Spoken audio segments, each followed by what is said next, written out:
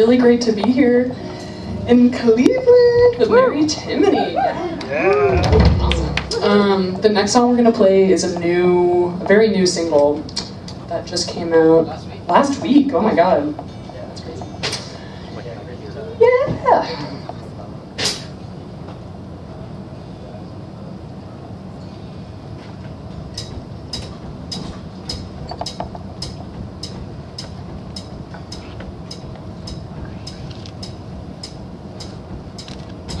Ready? You guys are so respectful.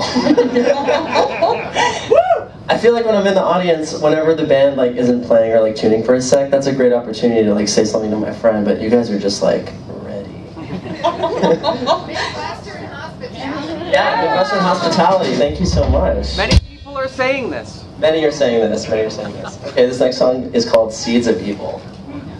Thank